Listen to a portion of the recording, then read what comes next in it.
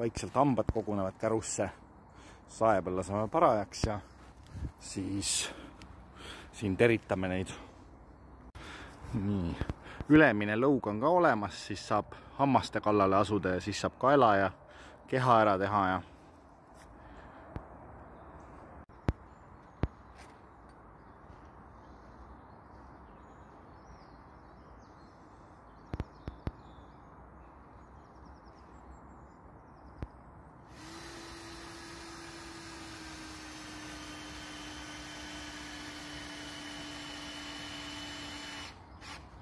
nii, esimene hammas olemas.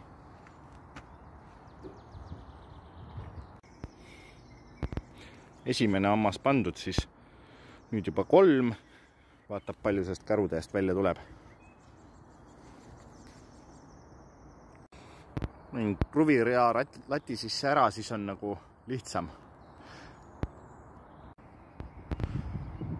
peaaegu